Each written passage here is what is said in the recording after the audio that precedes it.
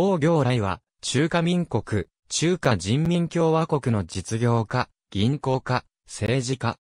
早期から革命派人士として活動し、後に、上海商業界の要人として台頭した。なお、渡月将らと共に、陳藩の一員と目される。名は、高来。号ははじめ特典、後に、暁来と改めた。大暁来別影1907年、地元で幸福会に参加したが、集金事件後に、上海へ逃れている。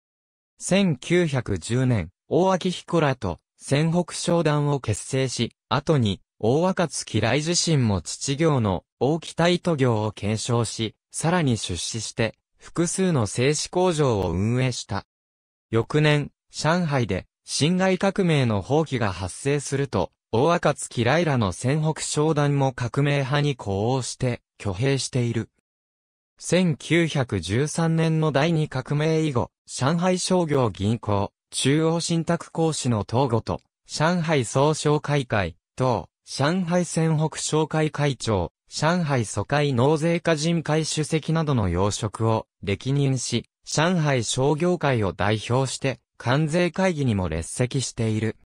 1926年7月、上海商会の推薦により、広州で、商会席と会談し、北抜軍受け師大会にも出席した。翌年の上海労働者による第三次放棄では、大若月来も、戦北保衛団に指示して、これに呼応させている。放棄が成功に終わった後、王は、商会代表として、上海臨時市政委員会出席委員に任ぜられた。しかし、同年4月の上海クーデターに際して、大赤月来は、反響の小解析を指示した。クーデター後、王は、チャンス県上海財政委員会常務委員、財政部特税所、副所長、全国マキエン税局局長などの職を歴任している。1930年、上海市商会の会祖と共に、理事長に任ぜられ、合わせて、全国商会連合会理事長にも就任した。1931年9月の満州事変後、上海各界公日会が成立し、大赤月来は、常務委員を務めた。1938年4月、中央にぎや和美委員会常務委員を兼任し、中国紅十字会救護隊を管轄している。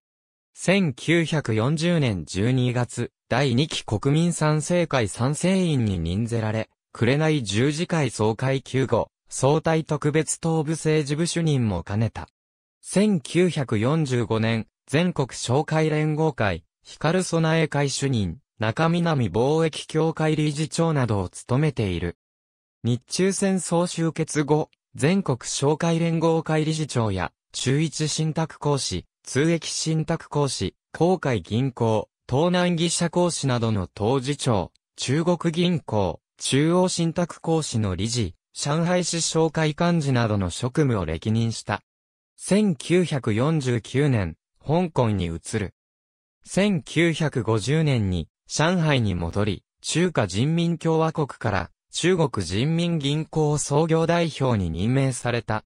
1954年、上海市人民代表大会代表に当選し、1958年には、上海市政治協商会議員に任ぜられた。